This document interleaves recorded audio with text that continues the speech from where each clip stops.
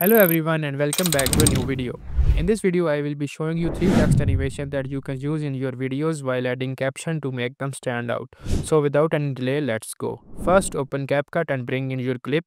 Then I will select some part of the video to use an example and trim the rest of the part. Now go to the auto caption section and hit generate.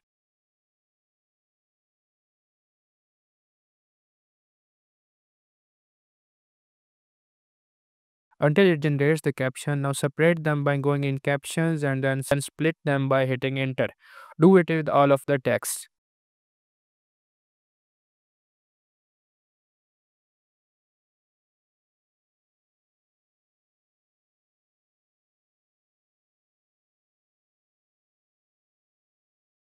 Now it's time to give the text some visual touch. Change any fonts you like I won't change the color of the text but I will add some shadow to give the text depth and also add some glow so you can copy my settings for better results. Now it's time to apply the text animation. Select one of the text layer and go to the animation section. Then in the in animation section here I have my favorite animations saved so you can also search them here. For the first text, I will go with the squeeze animation and different two for the other layers. You can copy mine as well.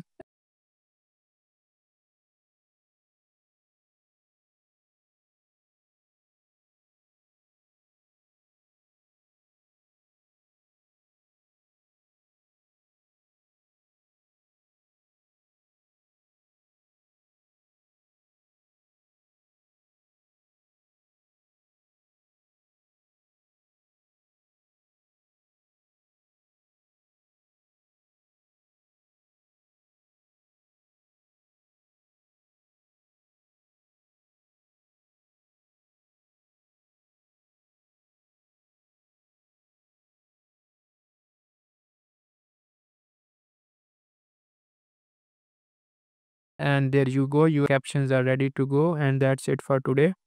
If you found this video helpful give it a thumbs up and subscribe for more. Also follow me on instagram for any help or work related to editing and i will see you in the next video. Bye